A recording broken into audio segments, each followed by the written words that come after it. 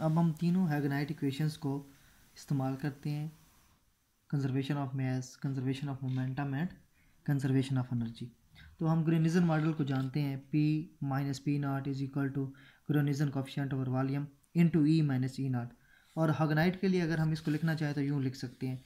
P H minus P naught is equal to Gruneisen coefficient over volume to E H minus E naught इस equation को मैं beta का नाम दे रहा हूँ।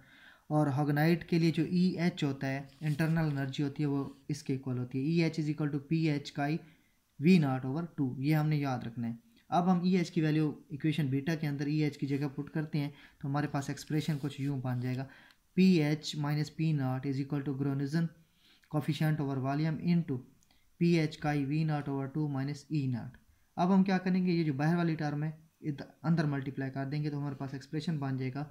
P H chi V naught over two dot Gruneisen coefficient over volume minus E naught Gruneisen coefficient over volume अब ये जो टर्म मैंने सर्कल कर रखी है, इसको मैं ले आता हूँ लेफ़्ट हैंड साइड पे। तो एक्सप्रेशन कुछ यूँ बन जाएगा। P H minus P H chi V naught over two dot Gruneisen coefficient over volume minus P naught is equal to minus E naught Gruneisen coefficient over volume अब मैंने क्या किया है कि इस टर्म में से और इस टर्म में से पी एच को कॉमन ले लिया है तो मेरे पास एक्सप्रेशन बन गया है P H into one minus chi V naught over two dot Gruneisen coefficient over volume minus P naught is equal to minus E naught Gruneisen coefficient over volume और ये हम पीछे निकाल चुके हैं expression explanation P H is equal to rho naught C naught square chi over one minus S chi whole square ये P H की value हम यहाँ पी एच की जगह पुट करेंगे तो हमारे पास एक्सप्रेशन बन जाएगा।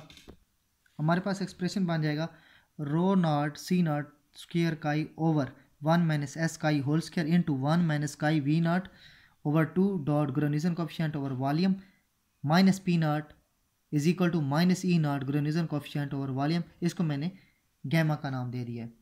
लेट करते हैं। Gruneisen coefficient over volume is equal to coefficient naught over V naught and rho is equal to rho naught और ये हम जानते हैं P naught is equal to minus D naught over D V और P naught की value हम gamma में put करेंगे यहाँ पी नॉट की जगह। तो ये माइनस और ये माइनस प्लस हो जाएँगे। एक्सप्रेशन बन जाएगा rho C naught square chi over one minus S chi whole into one minus coefficient naught over two chi plus D E naught over D V plus coefficient naught over V naught is equal to zero और इसको मैंने equation number two का नाम दे दिया। अब हम initial condition apply करते हैं। E naught is equal to zero when V is equal to V naught and यहाँ पे काई भी ज़ीरो हो जाएगा। तो इनके जो एग्जैक्ट सोल्यूशन आएँगे वो कुछ इस तरह से होंगे। E naught V is equal to A plus B chi V plus C chi square V plus up to so and P V is is to minus D E E over D V is equal to minus D E naught over D chi dot D chi over D V ये chain rule apply किया हुआ है मैंने। तो इसका जो result आएगा is equal to one over V naught into B plus two C chi plus three D chi square plus up to so one substitution these value in Gruneisen model तो हमारे पास जो रिज़ल्ट बनेगा, वो बनेगा P is equal to one over V naught into b plus 2c chi plus 3d chi plus up to so so plus plus Granizen coefficient over v naught into e minus a plus b chi plus c chi square plus d chi cube up to so on अब let करते हैं condition apply करते हैं E naught is equal to zero when V is equal to V naught then chi zero तो हमारा coefficient ए zero हो जाएगा इस कंडीशन के लिए।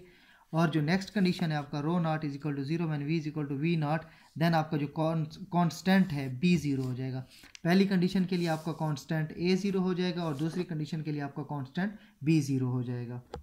देन आपकी जो माइग्रेनिजन इक्वेशन ऑफ़ स्टेट बनेगी जो फाइनल इक्वेशन ऑफ़ स्टेट है वो यूँ होगी। P is equal to one over V naught into two C naught chi into one minus coefficient naught over two chi plus three D chi square into one minus coefficient naught over 3 chi plus up to so on plus coefficient naught E where E inter, e is equal to internal energy per unit reference volume.